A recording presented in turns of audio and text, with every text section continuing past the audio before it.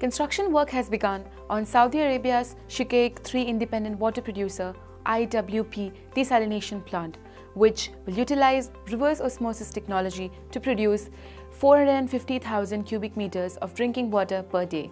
So, which companies are working on the project and when will the plant be operational? Let's find out in today's episode of Construction Week in Focus Season 3. I am Ranju Warrier, reporter at Construction Week.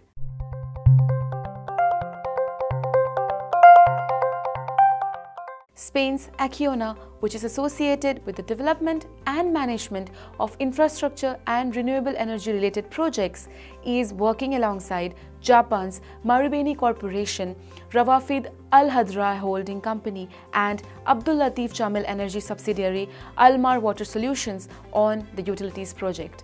With demand for water in Saudi Arabia having seen a steady rise in line with the kingdom's economic and population growth, the ground on the desalination project was broken recently. The Shuqaiq 3 desalination project is touted as one of the largest desalination plants in the kingdom that will produce 450,000 cubic meters of water per day. Construction work on the IWP Shuqaiq 3 scheme is scheduled to complete in 2021 and the project is expected to serve 1.8 million citizens in the kingdom. According to a statement on Abdul Latif Jameel's website, Shuqaiq 3 will create 700 jobs from the construction stage through to the final commissioning of the plant, which is being built under a 25-year build, own, operate contract.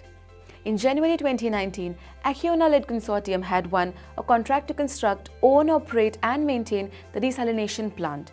In May 2019, Acciona achieved the financial close on the project with the total value exceeding around $600 million which is SAR 2.3 billion co-financing for which was led under a loan agreement by six commercial banks including MUFG, Credit Agricole Corporate and Investment Bank, the National Commercial Bank, the Norinchukin Bank, Samba Financial Group and Sumitomo Mitsui Banking Corporation.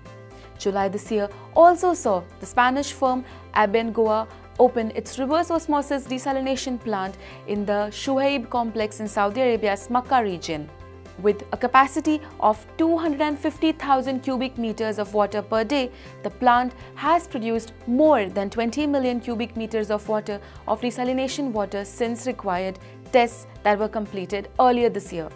That's all from us at Construction Week in Focus. If you enjoyed watching the video, please don't forget to hit the like button and share it with your friends and colleagues. Thank you very much for watching. Goodbye.